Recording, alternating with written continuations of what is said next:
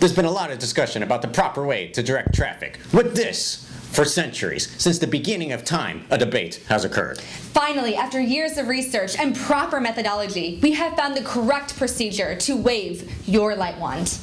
With the hand held out, as so, and the light wand moving, you can control the flow of movement, as well as the correlation to the ultimate triumph. This move can also be done with the traditional and ever-pleasing double Disney point.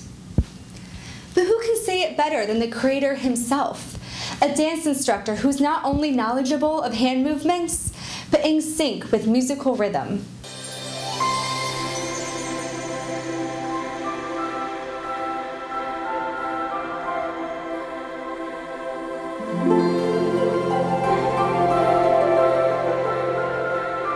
No, no, no! You are doing it all wrong. This is Disney Springs, not Blue Man Group. You're acting like a bunch of minions. What is this? Ugh! This, this is how we do it.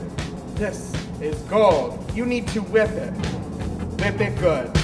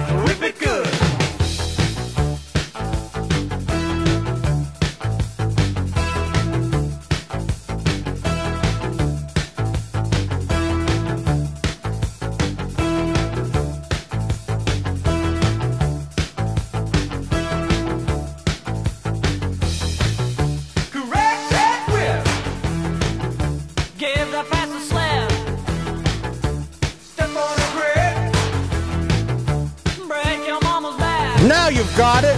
We are one Disney Springs. And here we have Mikhail, who's operating the correct light wand procedure. And he looks like a winner. He is keeping all of the cars safe. Remember, only you can prevent inappropriate light wand gestures in your department.